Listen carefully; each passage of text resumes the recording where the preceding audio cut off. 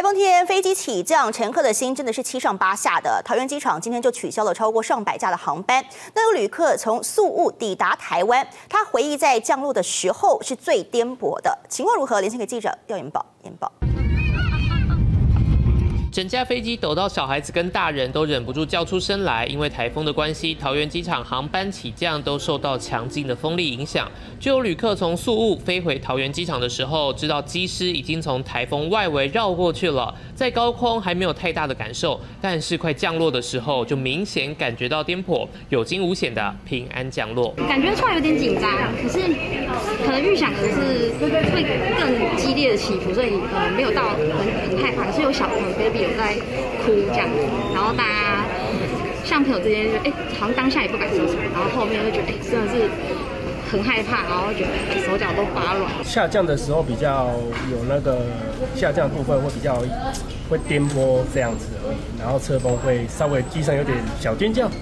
对，然后尖叫到下来的时候，大家就是还蛮开心的，就是说已经平安到达台湾这样子。在台风天起降真的是考验机师的功力。今天桃园机场客货机入境航班取消六十五班，出境航班取消六十七班，一共取消一百三十二班。因为台风的关系，不止航班变动性很大，在空中同样让人皮皮错，直到确定碰触到陆地之后，旅客不安的心才缓和了下来。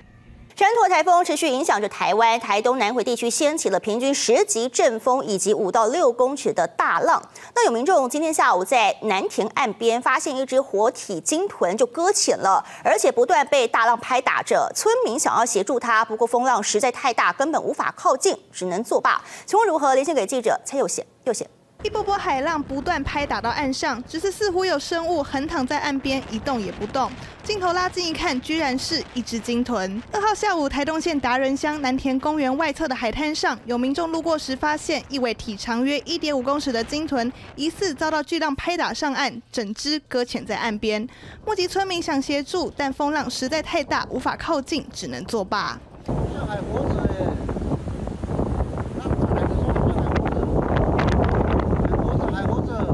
台山土儿狭带强劲外围环流，台东南回地区掀起平均十级阵风以及五到六公尺的大浪。鲸豚疑似因为大浪拍打，不幸搁浅在岸边。而由于风浪过大，海巡人员也没办法接近救援。民众远远观看，只见鲸豚似乎还有一线生机。不过后续还是得等待风浪缓和后，才能再更进一步确认鲸豚的状况。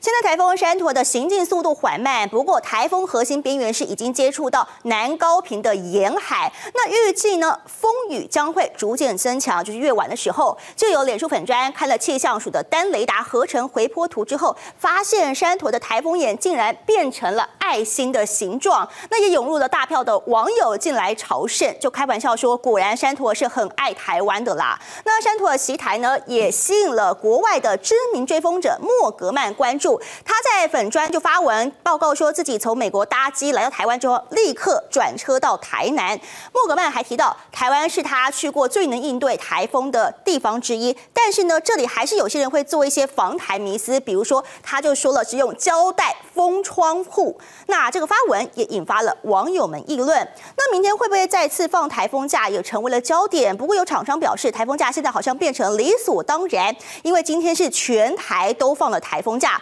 但许多地方是无风无雨的，所以应该检讨的是台风假是不是太腐烂了。另外一家食品厂老板则认为，基本工资确定要涨了，那工业电价十月也要涨，现在台风假又乱放，所以说政府政策让中小企业是难以生存。随着时间越晚，宜兰陆续出现了间歇性的降雨，最大阵风达到六级。而在宜兰有不少间的动物农场，像大人小孩都很爱的水豚君，业者怎么替动物们做好防台准备呢？我们让记者陈庭儒带你来看。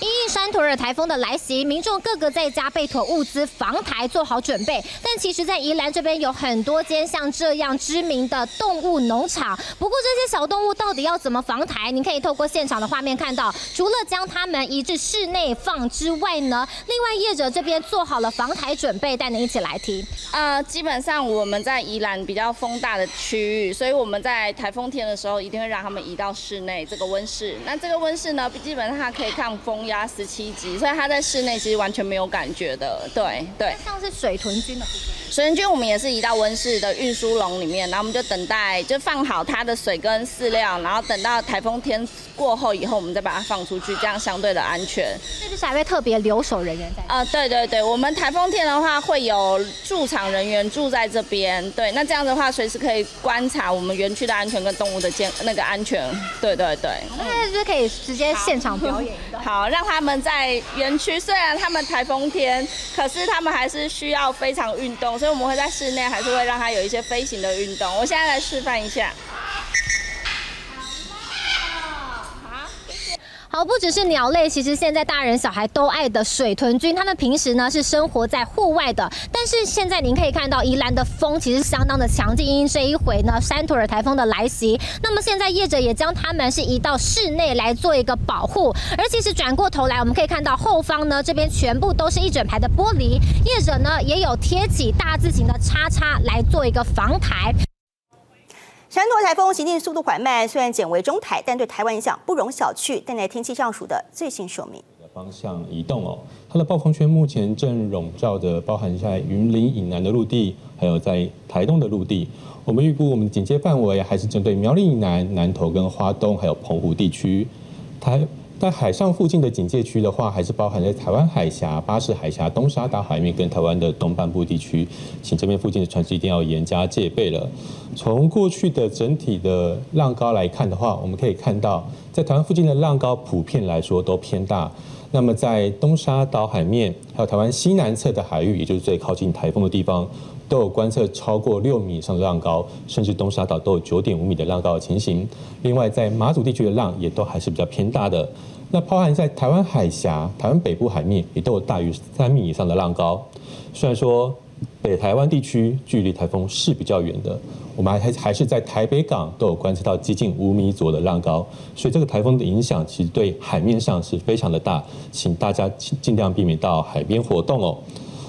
那么至于在整个整体的风力来看的话，我们先来看整个风力观测。在风力观测，我们可以看到，在今天的观测来看的话，过去受到台风的影响，包含像桃园都有观测到阵风十级，另外在台东蓝屿绿岛都观测到十到十二级的阵阵风，另外在澎湖也有观测到平均风十级、阵风十二级的情况。那我们进而如果从比较细的乡镇区域来看，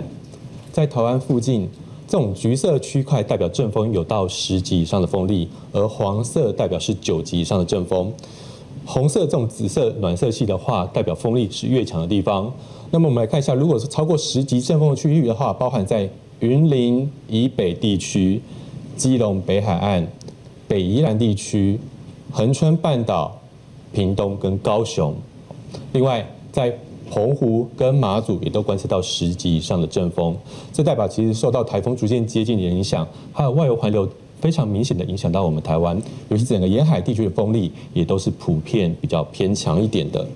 那未来它整体的预测，我们也可以看到，在今天第一个时第一个时间的话，包含在今天的晚上的时候，整个西半侧一直到桃园，然后到台东以及离岛这些地方，普遍的阵风都来到十级以上。这样的影响会持续到明天的清晨六点以前。另外。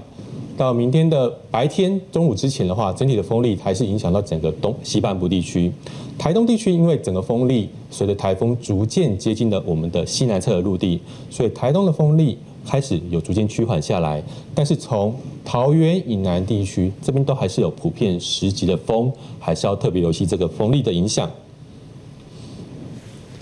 所以我们从整个风力的趋势上面可以看到，就是今晚到明晨。一直到明天白天这段时间，它的差异就是在今天晚上到明晨，随着台风持续接近我们的西南侧陆地的时候，海面上的风力还是持续都是比较偏强的，而且这种黄色、橘色的区块有接近到我们比较偏内陆的地方来，风力会影响还是比较明显。而到明天的时候，随着台风有机会逐渐在登陆了以后，整个风力在西侧依旧偏强，东侧稍微减弱，不过都还是普遍会有十级的阵风。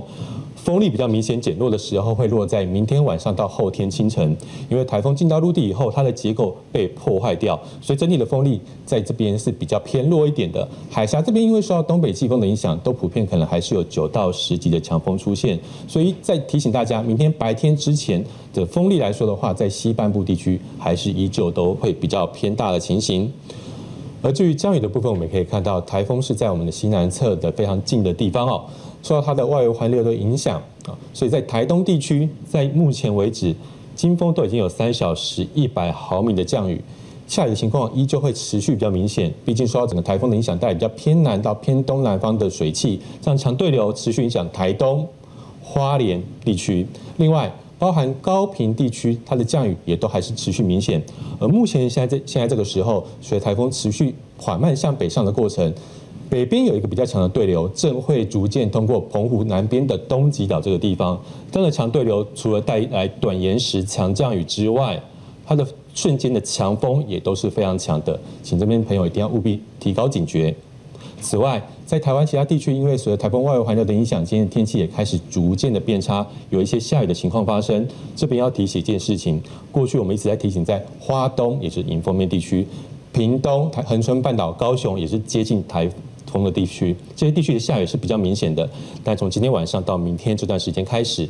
因为受外围环流跟地形交互之后的影响，在基隆北海岸跟大台北山区这些地区的雨势。开始会有逐渐明显起来，到明天的时候，下雨的情况还会持续，可能预估会有局部大雨或豪雨的情形，我们会持续密切观察哦。因此，从整个定量降雨预报的预估可以看到，今天晚上到明天清晨的时候，明天白天的时候，台风位置可能接近我们的西南侧的陆地了。而这时候，因为说它的外围环流，因此在花东南部地区下雨情况是比较明显一点的。北台湾地区开始下雨的情况也会明显，尤其在北海岸还有北部山区这个地方。另外，到明天白天的时候，随着台风持续向我们陆地移动，进到我们内陆陆地的内陆，这时候其实，在南台湾地区因为环流影响，下雨可能还是在持续。北台湾依旧要注意的是基隆北岸跟北部山区这个地方。